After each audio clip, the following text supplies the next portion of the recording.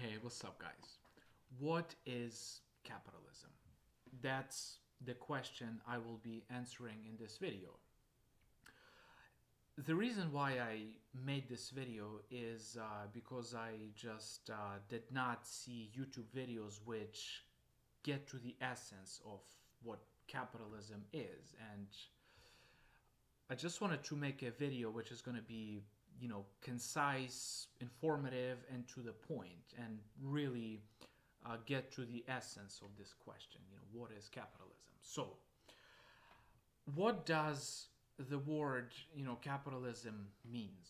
Um, interesting question and i don't think you know the answer. You know what does the word mean? Like what is the origin of the word capitalism? Uh, you might think it means um, sort of capitalism, like capital city. So it's kind of like um, once we got to the historical stage in which you know we have nation states with capital cities. You know that's what capitalism is. Sort of, um, you know, we have a nation state with a capital city, and you know, capital city becomes this uh, you know center of trade and commerce and uh, all this stuff, but that's incorrect. Okay, um, capitalism, the word capitalism does not come from you know the word capital city. Okay, that's not the case. It comes from a Latin word caput, which means head. So in a sense, uh, you know, capitalism means you know headism. Well, of course, uh, you, you kind of might have a question. Well, heads of what? You know, human heads or eh, the way the you know word uh, you know caput was uh, used in Latin is uh, heads of herd animals. Okay, so sheep, uh, cows, animals like that. So capitalism is you can sort of uh, translate it as headism. So quantity of animals, like that's literally what the word means. You know, kind of headism. You know, number of heads. Well, um, that's the linguistic, you know, component of what capitalism capitalism is. Well, where and when did it originate? And uh, that is a really interesting question. It's actually a mystery. Okay, you see, we still do not have a clear answer to this question. Um, one of the greatest, uh, greatest uh, historians of you know capitalism, Fernand Braudel, um, you know, in his uh, three-volume um, history of capitalism, says that we just do not know. Like, uh, you know, we have an incredible number of statistics. You know, like we know, like in you know Paris in you know 1772, how many uh, you know liters of milk you know people drank. You know how many uh, loaves of bread you know they have consumed. Like we know how many uh, you know barrels of you know wheat uh, you know people had in I don't know Florence in 1472, but we just do not know exactly where and exactly when capitalism uh, came into existence. Uh, that's kind of a curious uh, mystery, you know, behind it. So we do not know where and when it exactly originates, but essentially, uh, you know, in the decades right after you know Columbus's famous uh, you know discovery of America. By the way, I will make a separate video about um, other cultures, uh, you know, discovering America, but don't want to get into it. So essentially, uh, once America was discovered um, by you know Europeans, capitalism um, came into existence uh, somewhere in Western Europe. Okay, and like I said, we do not know exactly where and exactly when it came into existence, but you know, 16th century, it was there. All right. so, um, what is uh, capitalism sort of uh, socio historically? Like, is it a religion? Is it an ideology? Uh, is it uh, a philosophical system? Well, it's none of the above. Capitalism is a social system. All right. So, what is a social system?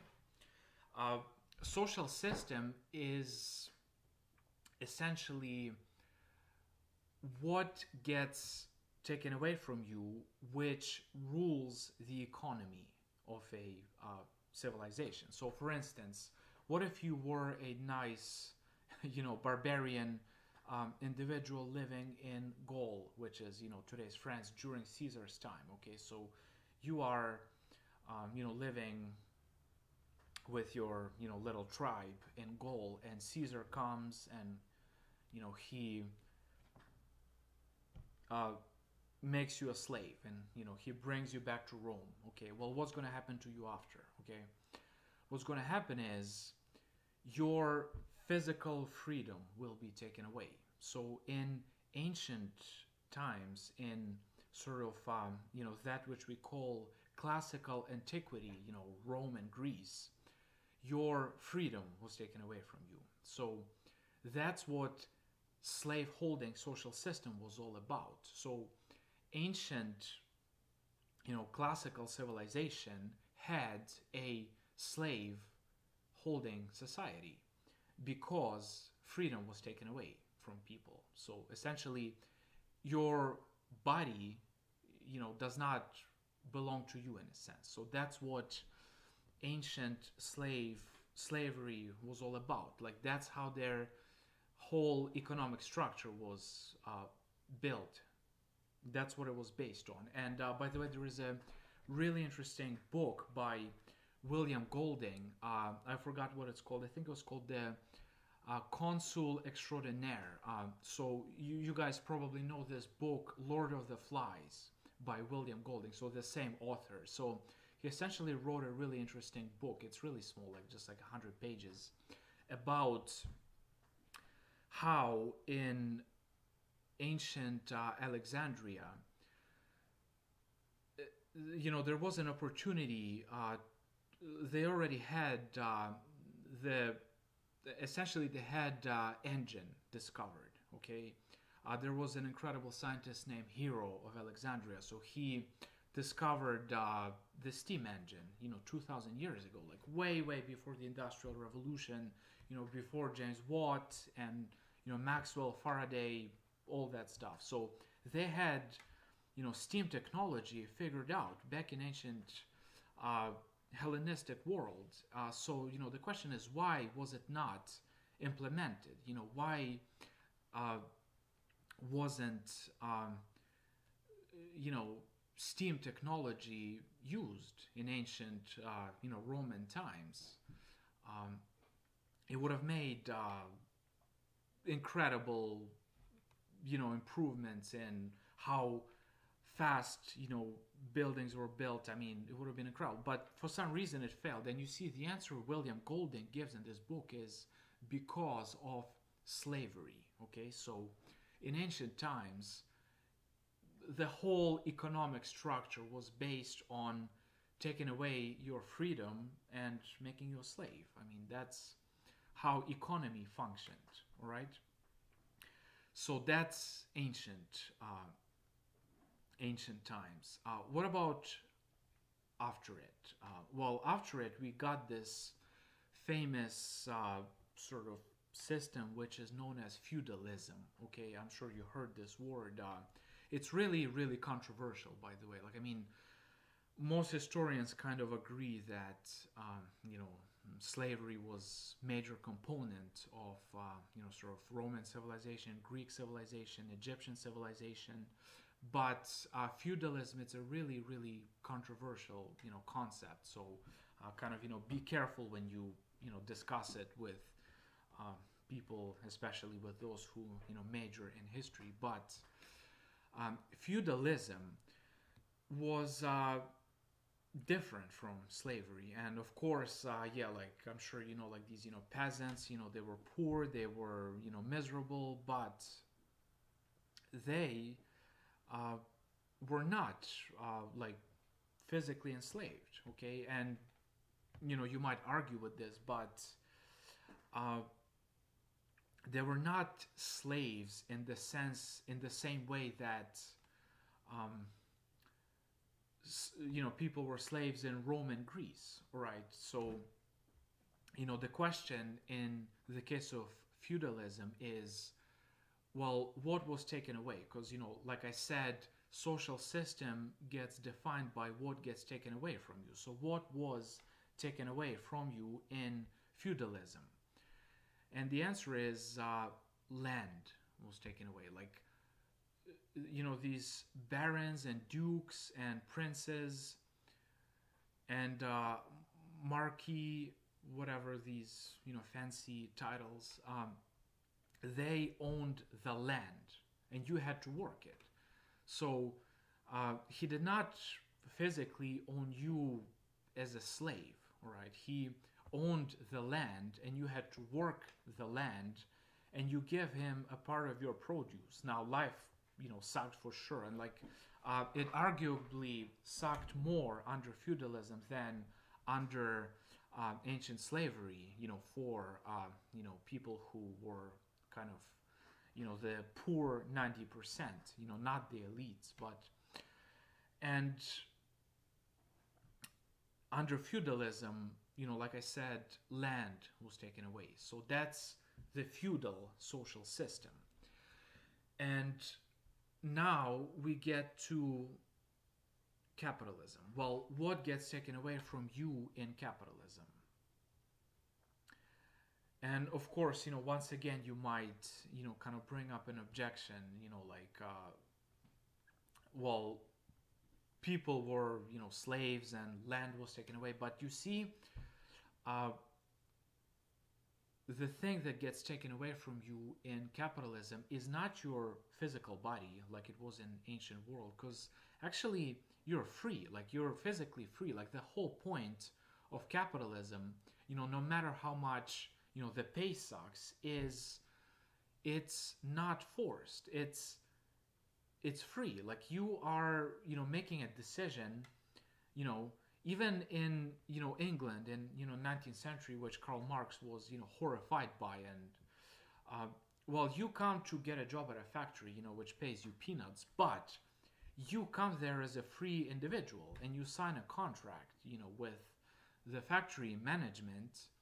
So you come there as a free individual and land uh, kind of is not the central uh, factor either anymore okay what gets owned what gets you know taken away from the worker in capitalism is the so-called means of production. You know that's karl marx's term you know which means the things you need to make a product in a factory. So you know like those uh, spinning looms uh, you know conveyor belts you know all that good stuff you have in a factory you know which um, you use to make products. So of course uh, you know now we kind of um, moved into this more uh, sort of IT electronics age and you know some of these uh, um, restrictions not necessarily apply. But you know to quickly summarize what i just said in ancient slaveholding social system your freedom your physical body you know was taken away from you your freedom. In feudalism land was taken away. And in capitalism means of production are taken away. So that's essentially the system in which we live right now capitalism. It's a system in which you as a free individual come sell your time to make products which you know then get sold. And those products are called commodities but uh, you know we'll there is uh, another really really important uh, factor uh, in you know this discussion of capitalism and that is believe it or not religion okay? Uh, it, it's kind of uh, heretical i guess you know you could say to uh, explain sort of you know economical phenomena with religion but uh, it absolutely like you, you cannot uh, understand what capitalism is without understanding religious uh, history of Europe um, in 16th and 17th centuries. So, if you live in the West, I'm sure you know there is uh, this branch in Catholic, in Christianity which is called Protestantism. So you know we have Catholic countries, you know, like for instance uh, Poland, France, uh, Spain, and then we have Protestant countries such as uh, you know Germany, Denmark, England. Well, England is kind of a special case. So this Protestant uh, religion actually was key to capitalism. Essentially, in 16th uh, century, new uh, Europe got split into two um, religious uh, fractions. You know, two. Uh, so you can essentially describe them as Catholicism and anti-Catholicism. So the anti-Catholicism became known as Protestantism. And by the way, Protestantism was not the term that you know these uh, Protestants themselves used. It was kind of a pejorative. It was an insult um, to them um, by uh, you know uh, the opposing camp. You know, kind of like the Big Bang. It's actually like you know the term Big Bang. Um, it, it, was kind of a joke, you know, like somebody wrote in a newspaper, you know, like oh, you know, this theory of you know Big Bang, and somehow it stuck, you know. So same thing with Protestantism, like um, it, it, was an insult, you know. They were just um, essentially some princes in Germany. They refused to uh, show respect to some, you know, Catholic, uh, you know, clergymen and, and stuff like that, and they refused to get up in the presence of um, religious figures who you know came from sort of Catholic domains, and they refused to acknowledge them. So they were you know kind of described as protesting. So you know that's you know they protest and they're Protestants, Protestants. So, anyways, um, Protestantism is capitalist religion Okay, so without Protestantism, there would be no capitalism. So Protestantism gave a lot of these uh, sort of mindset, uh, you know, a lot of these ideas which are central to um, sort of capitalist mindset. They were uh, Protestant in origin. You know, like for instance, this concept uh, of you know working hard to get ahead in life and uh, surprisingly this uh, you know catholics don't really think that way like um, you know this kind of individualistic you know like i gotta get ahead in life you know like i gotta push people aside you know i gotta you know the world is you know small fish eats big fish and like you yourself like you probably you know without even knowing if you ever spoke this way you know like you said like i gotta get ahead you know i gotta you know, get to the top. You know, I gotta make that money. I gotta have that success. It's Protestant talk. It's you know, capitalist talk. You know, I mean, you talk like a capitalist. Uh, you know, congratulations, I guess. But um, this Protestant religion, and by the way, if you are you know really uh, you know clueless about you know this, I will make a separate video about you know Protestantism and kind of get uh, more into it in detail. But Protestant countries became what is known as the core of capitalist system. So once capitalism came into existence, Europe split into two parts. You know, one part which we call the core, and that's um, a concept uh, coined by a great, great historian, um, Immanuel Wallerstein. He just passed away, uh, you know, just uh, this year, I think. Uh, this year or two years, I forget.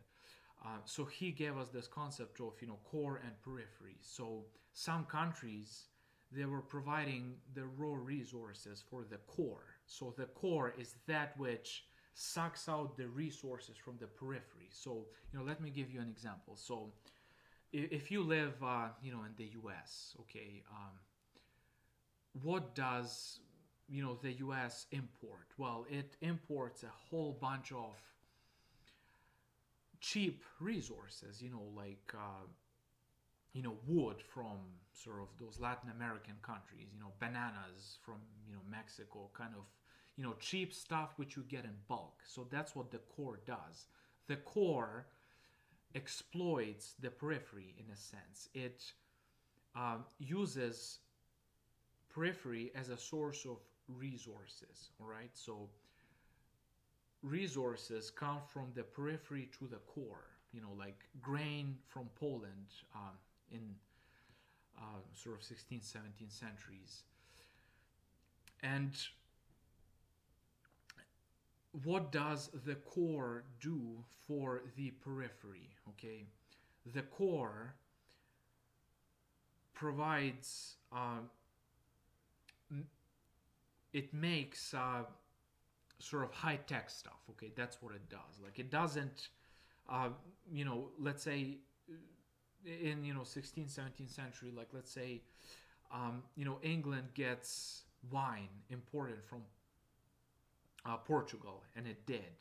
And what does it give back to Portugal? Well, it gives it, you know, ships. It gives it, um, you know, machines for factories, uh, sort of the core makes high tech stuff. And in today's world, uh, you know, what is the core? Well, it's, you know, Japan, it's Germany, it's the US. So what do these countries do? Well, they, you know, get a whole bunch of cheap resources from, you know, third world. And that's what the third world is. You know, third, third world equals peripheral world. So it you know gets these resources and what do those uh, people in the third world get in return? Well they get iphones you know they get laptops they get cars you know like if you look at you know africa they have cell phones they have cars you know they have um, you know high tech stuff. Well they get it from the core. So that's um, essentially in a nutshell what capitalism is all right? So let me uh, recap okay? Capitalism is a social system which came after feudalism. We do not know where and when exactly it came into existence, but we know it was somewhere, sometime in the 16th century um, in Western Europe. This uh, uh, social system takes away the means of production. Uh, and in feudalism, land was taken away, and in ancient slavery was freedom that was taken away, and in capitalism, means of production get taken away. And that's the system in which we live. This uh, socialist system was uh, very, very um, influenced by religious ideas. Like uh, religion was central to it, Protestant religion, which split, you know, Europe into capitalist core and its periphery and uh, I'll make a separate video about well what's gonna happen now because uh, you know these social systems they have a finite lifespan. So you know is capitalism coming to an end? Well uh, stay tuned for my other videos. So that's pretty much it. So now you know when you watch the news uh, you know you can you know have a better idea what they're you know talking about when they say you know capitalism this capitalism that. And um, for those of you who read, and you know, there is not a lot of people who read uh, these days. You know, I mean, we just you know got so used to you know YouTube's and uh, you know just all this other uh, stuff which you know is not good for your mind. Well, for those of you who want to read, let me give you three um, best places to you know kind of learn more about this. Uh, of course, um, you know there is this heavyweight philosopher Karl Marx. So he wrote a big fat book known as Das Kapital, you know, which is uh, translated as the capital. You know, it's like this big, more than a thousand pages, and there is uh, three volumes in it. So Marx's Capital is, you know, one of the best. It's hard, but it's you know amazing stuff. And uh, you know, if you find it a bit hard, uh, you know, I recommend it, um, you know, watching it in conjunction with uh, David Harvey's, uh, you know, videos on Marxist Capital. You know, he's a, a terrific English uh, historian, philosopher, uh, David Harvey. So Marx, that's you know number one. Number two, uh, Fernand Braudel, spelled B R A A. Damn it, sir. B R A U D E L. Braudel, Fernand Braudel. So he wrote a three-volume um, history of capitalism in Europe. Uh, pretty heavyweight uh, read, but you know, very, very deep, uh, just incredible stuff. And third, Immanuel Wallerstein, like he's the guy who gave us like most of these concepts about you know core periphery, and he advanced, uh, you know, kind of clarified some um, points in Braudel and Marx, and uh, you know, sadly, you know, like I said, he just passed away uh, just recently. So yeah, stay tuned uh, for you know more videos, and uh, see you guys soon.